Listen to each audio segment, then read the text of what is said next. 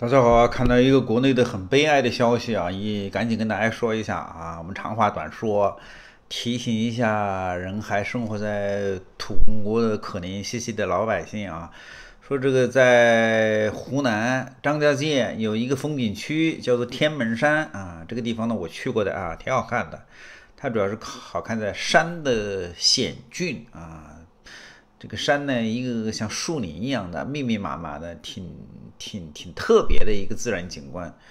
说这个四月四号下午，四名游客在天门山景区山顶西线玻璃栈道上面翻越安全的护栏跳崖，三人跳下去了，一人被及时的阻止了，所以三个人都死了。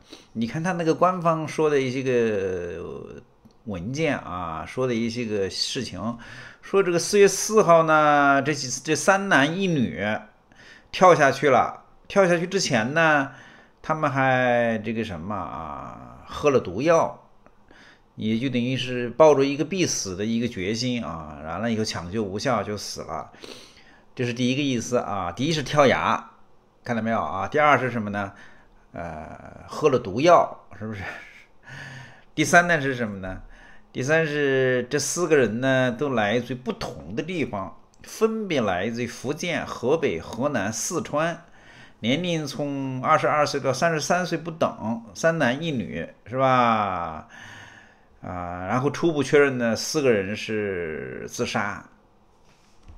这个消息很重要啊，就重要到有你你无论从哪一个角度来看的话，你都要这个。多想几句啊，因为我们中国人，你一定要养成一个基本的这么一个对新闻的一个分析能力。凡是对共产党说出的任何话，你都不要信，他都是假的，他都是在忽悠你啊，忽悠你。这种事，你你如果说什么呢？就是这个事儿，它本身是一个什么？是一个很典型的。如果他真的是自杀的，自杀的话，他根本就不用报道，是你们自己找死的，我干嘛要报道呢？是不是？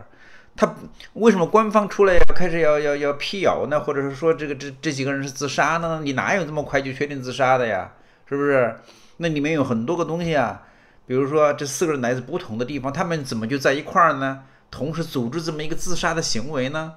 是不是？这是其一，其二，为什么他们要喝毒药呢？在哪个地方喝的毒药呢？你我知道这个地方你要去去旅游的话，你是要有安检的啊，你身上带有毒药，你在现场喝是带不进去的。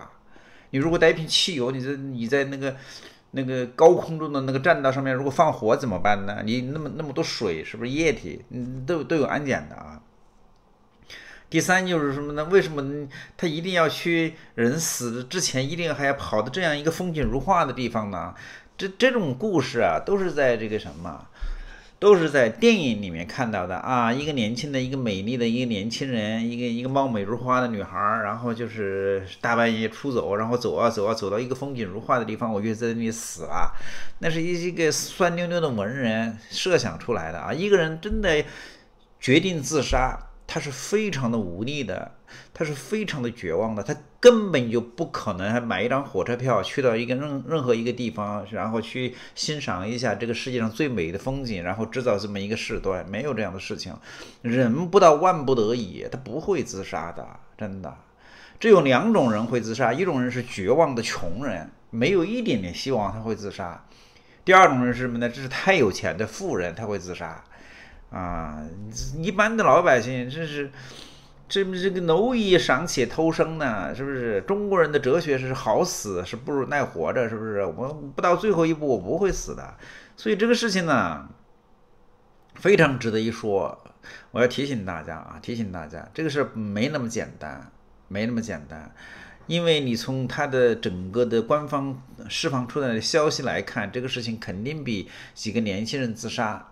来的更凶猛，他为什么要辟谣呢？我觉得啊，这是我个人的分析啊，是因为这几个人都很年轻，是吧？完了以后呢，现在也自杀了，他是担心什么？担心大家年轻人都没工作了，找不到工作，绝望了，是吧？掩盖经济层面的萧条。其实你想想，这个事我不说啥事儿没有，说土公一旦出来说话，你就一定要打一个巨大的问号。我说过无数次，你在土公中国生活，凡是官方出来的消息，不管是中央电视台的，还是人民日报的、人民报的，还是警察的消息，还是政府的消息，你标点符号都不要信，你心里就傻了。然后我问了一些个了解情况的人，他们说这种情况早就有，是是一种什么情况呢？是一种土公中国的有些个人呐。官方的人呢，他搞的一个新的杀人的一个方法，一个办法叫旅游自杀，呃，旅游杀人。然后呢，他有些人黑社会也搞这样的事情。完了以后呢，什么什么什么，官方也搞这样的事情。比如说，他们最近在中国传的很凶的，有些人说是造谣传谣啊。其实你最好是相信，你不要觉得自己理中客。说有些人呢。找了一些国内的优秀的年轻人，有学历的，身体倍儿棒的人，说我们公司啊，这个月的这个绩效很好，赚了钱，我组织大家二十多个人，全是年轻小伙子，三十左右的人，是吧？完了以后呢，就是说我们去玩儿啊，去欧洲玩儿，但是呢，有是是有一个路线图，第一站要去哪儿呢？去缅甸，然后去缅甸干嘛？为什么要去缅甸呢？去缅甸把你身上的器官给割下来，然后把你的器官卖到，然后又又运回来呀，是不是在中国赚钱呢？说是这么一个人体器官贩贩运的这么一个商业模式，你信吗？你还是信还是不信？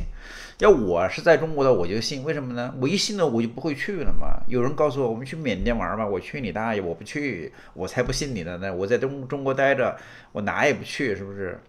哎，你一不去，你就避免了灾祸。他如果是真的，你避免了；如果不是真的，你也避免了。对你来说，你是一百分，你干嘛呢？是不是？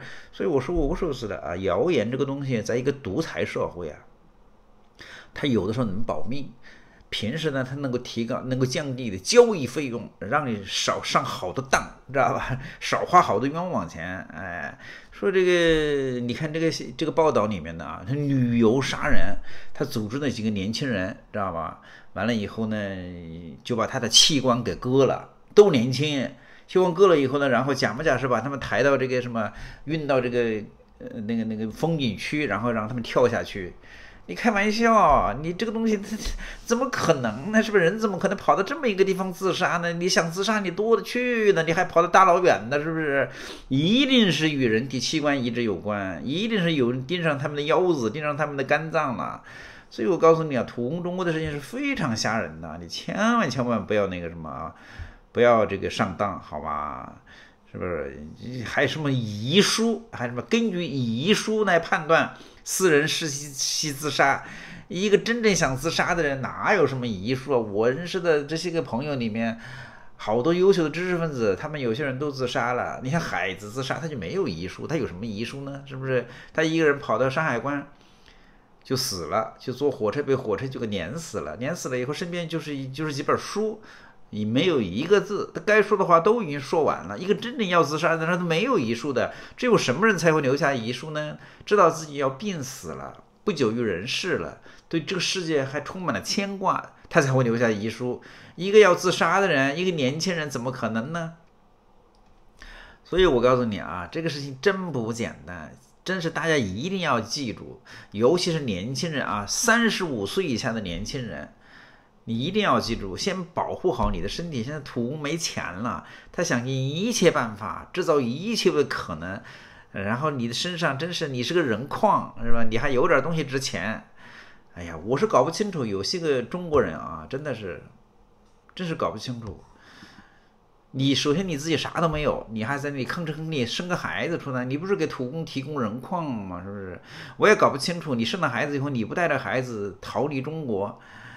你还在那里傻傻呵呵的，你还你还在那里觉得自己是一个人？你是个什么人呢？你在共产党眼里，你就是个矿，好吗？你身上啥都不是。一个人最值钱的不是你的眼睛，不是你的嘴巴，不是你的肝脏，不是你的肾脏，而是你的灵魂，而是你的自由意志，是你的思想。但是一说你自由意志，说思想图，立马就灭了你，是不是？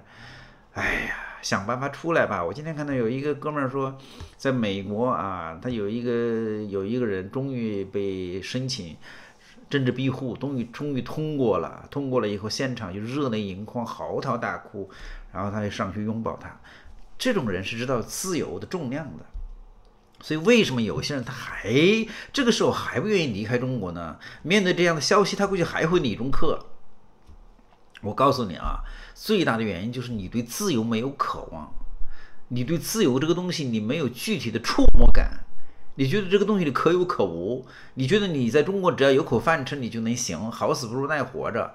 我告诉你啊，你让你活不了。真的，你当你没有自由的时候，你的身身体的器官都不属于你，共产党都要把你给给摘走，然后给你制造一个自杀身亡的这么一个消息，让你在一个风景如画的天门山风景区跳下悬崖，那么高我去过的，吓死个人了，我都往下面看一眼我就怕，还自杀了，帮帮忙！哎呀，这个消息可能与我老家太近了吧，我看到其实挺伤感的，都是年轻人，三十三岁，真的。还有一个小姑娘，说才二十来岁，估计还没有男朋友呢，就这么稀里糊涂的就给死了，其实蛮伤感的，真的，大家都多多保重吧。所以跟大家讲这么一期啊，多多保重，多多保重，不容易，谢谢。